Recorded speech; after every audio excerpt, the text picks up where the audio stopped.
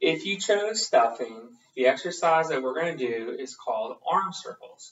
How this works, you take your arms to the side and you move them going forward, small or big, or you can go backwards, small or big. All right, we do it for 30 seconds. Ready and begin.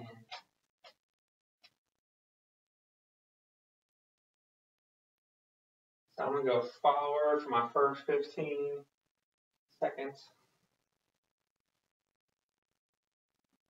And backwards for the last 15. Now you can go either way, big or small, it's up to you.